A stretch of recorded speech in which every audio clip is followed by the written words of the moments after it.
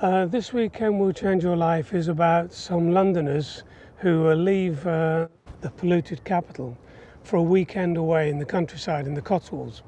And it's, uh, it's called a kind of glamping weekend. I don't know if you have much glamping in Ireland, you know, glamorous weekends, uh, teepees, wigwams, yurts, uh, vegan food, therapy, massage. So they go away to have two nights away, three days, and they expect to kind of learn more about themselves and to engage in the countryside.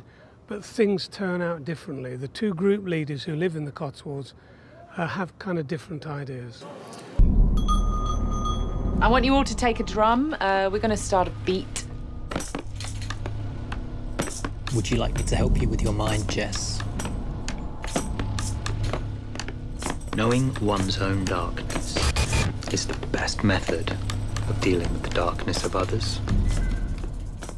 I don't know anything about anything, and I think the older you get, the realize, you realise you know nothing.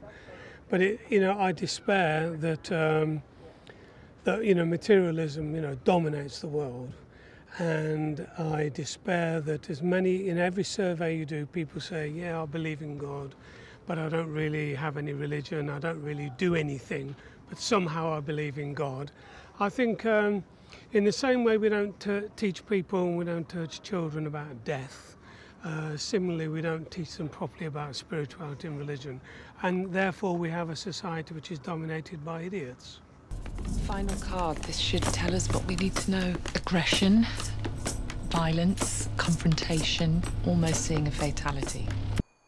If you write your own stuff, I mean, you, you, you know the subject matter inside out you already have a good visual idea of how you want the words to look, the dialogue and the scenes to look. And I think most importantly is that when an actor comes to you and says, Can I change this? You just say, Yeah. You know, because you've written it. And I always say to the actors, If you can do it better, fine by me. We can begin our journey. I'd really like to um, get out and meet more people. It became impossible to make love. Here I talk to lots of people and they seem to be genuinely interested in films. And some film festivals are kind of events for when, you know, people in the local community come out to a cinema for the first time in their lives or, or once a year.